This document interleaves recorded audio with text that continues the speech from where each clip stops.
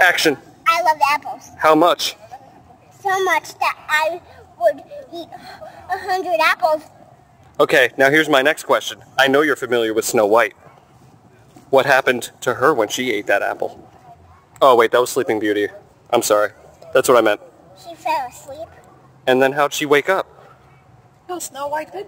Yeah. The apple. Oh, it was Snow White. Girl, you gotta teach me about these fairy tales, because I don't know them. I'm talking to you, Ariana. You gotta teach me. I am not in tune with the fairy tales. Oh, well. Did you? Right after you get the camera away from my face. You are so rude.